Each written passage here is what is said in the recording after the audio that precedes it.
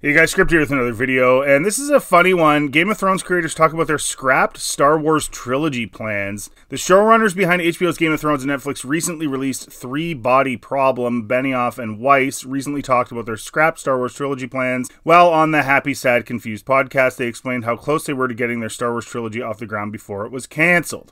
Now, I will say to just to start this off that they they rushed the ending of Game of Thrones to get get going on this Star Wars project. So obviously, Kathleen Kennedy gave them some form of promise of some kind to get them to do that. They were like super excited, and then they rushed the Game of Thrones ending, and the Game of Thrones ending sucked. And I wasted 20 hours of my life watching that show that I will never get back because the ending was so absolutely god awful. And part of that's Martin's fault too, the the author, because he just just doesn't finish books for some reason and finish his stories for some reason. It takes forever. But they did that because they thought they were getting a Star Wars trilogy. And that's one of the things with Kathleen Kennedy that I just don't understand. She promised Rian Johnson a trilogy. She promised these guys a trilogy. Everyone gets a trilogy. Hey, you want a trilogy? Hey, hey, hey, you want one? Hey, hey, hey, everyone can have something. And that's been happening with Star Wars way too much. Like she just like flippantly announces movies and shows and projects and then they get canceled or they don't or they get moved or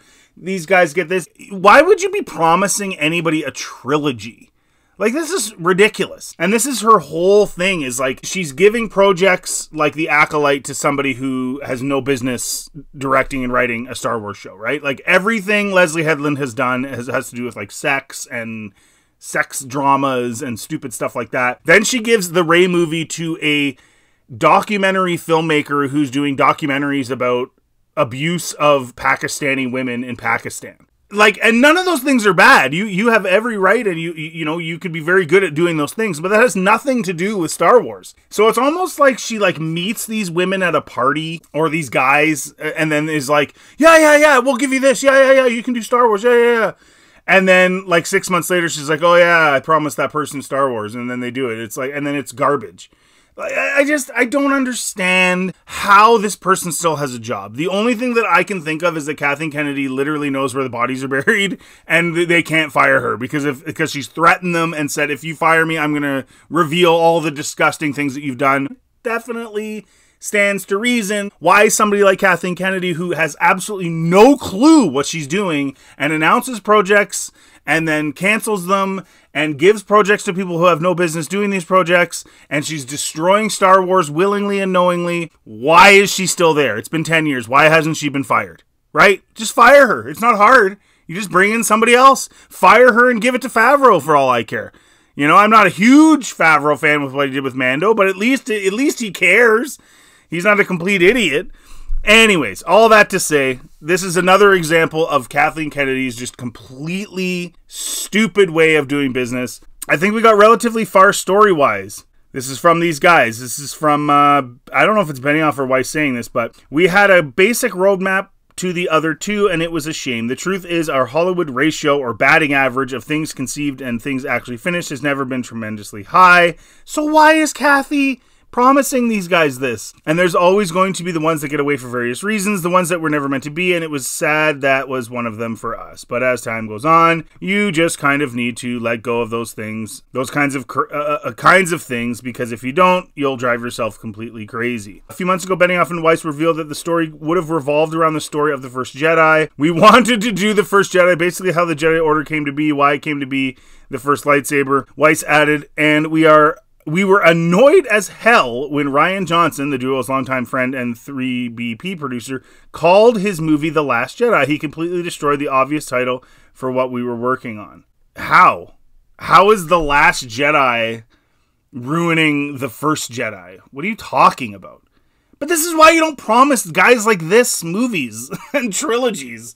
Why did she promise Rian Johnson? See, they're all buddies. See, longtime friend Rian Johnson. This is what I've been saying on this channel for literally years and on my Twitter for years, you guys. These people are being hired because they're friends of people. It's just a giant party. Kathleen Kennedy is quoted as saying how great it is to just go to all the different parties and stuff for Star Wars.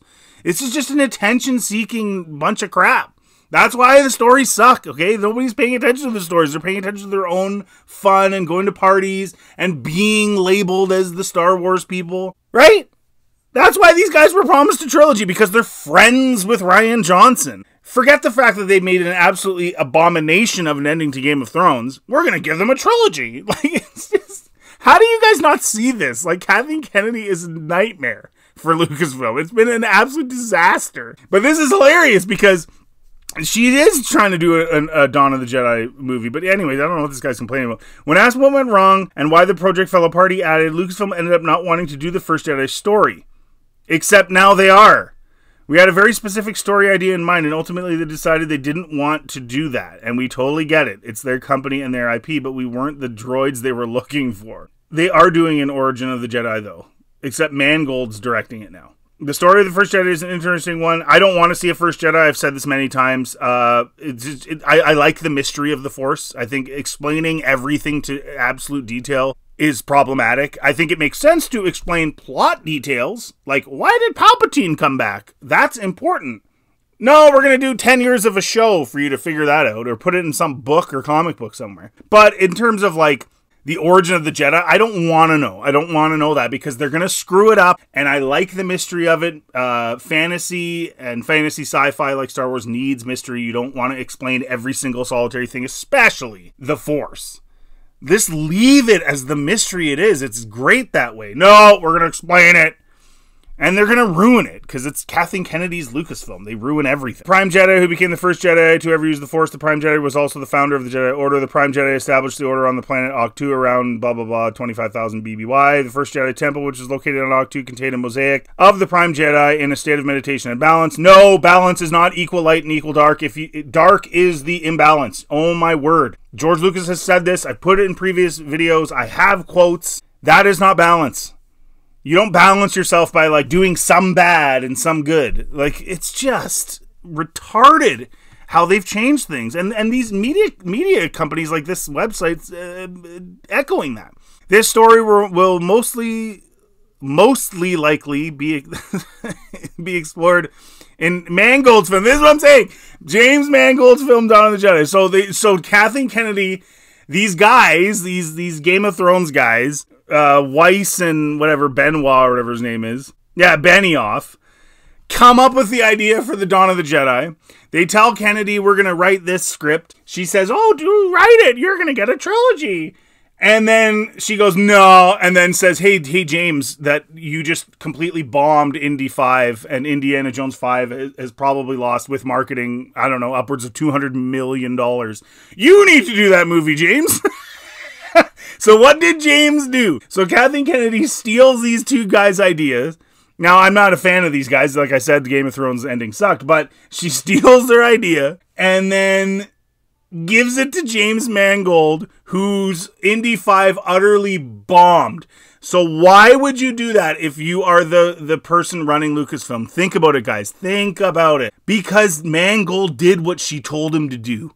She made Indy 5 about a brunette woman, which is Kathleen Kennedy's whole thing. Every series has to have brunette women. It's self-insert playland for Kathleen Kennedy. He did what he was told. So, despite the fact that the movie Indiana Jones 5 completely bombed and lost hundreds of millions of dollars, it doesn't matter because Mangold did what he was told. So, Mangold's going to get the Dawn of the Jedi now, and he's going to do what he's told again because Kennedy's running everything. He's going to do what he's told, and she stole the idea from the Game of Thrones guys.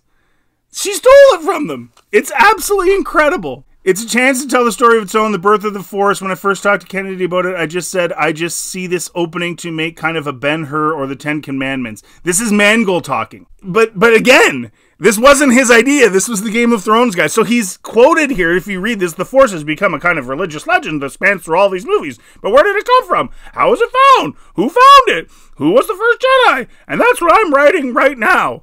Bro, you stole the idea.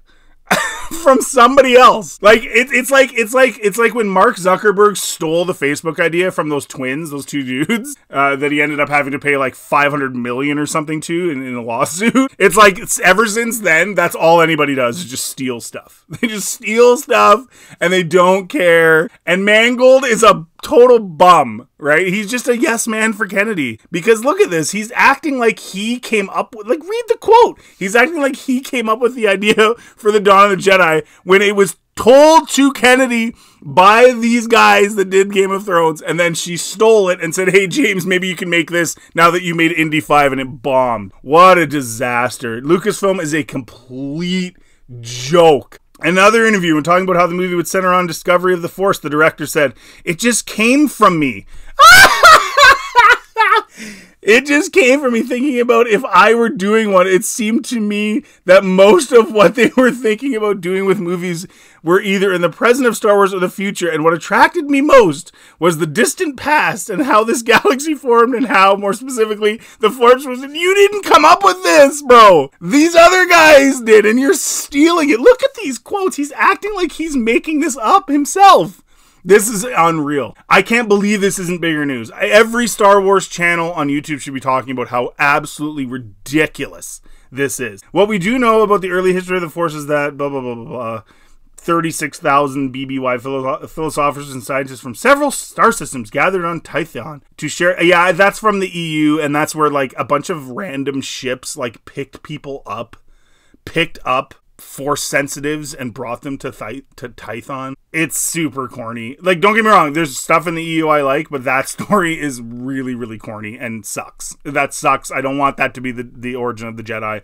Random ships that are like cubes going through space and just grabbing up random people, uh, leading to the beginning of the Force Wars. Peace-minded monks that survived the destruction on Tython established the Jedi Order. Okay. Anyway, so th- they're admitting that they stole the idea. What do you guys think of this? Like, this is a joke. I can't believe this isn't being discussed on mainstream channels. Like, I'm a little dinky channel. I can't believe nobody's talking about this. Kathleen Kennedy stole these guys' idea, gave it to Mangold, and then Mangold is being quoted as acting as if he came up with it on his own. And Mangold made Indy 5, which was a complete bomb, but Kathleen Kennedy is giving him more projects. Why? Because he did what he was told. Lucasfilm is a complete and utter disaster. It's a joke. I'm sorry, but it's a joke. Let me know in the comment section what you think. As usual, guys, thanks thanks for watching. Uh, if you like this content, please like and subscribe. Always helps the channel. Check out anything else on my channel and have yourselves a really good day.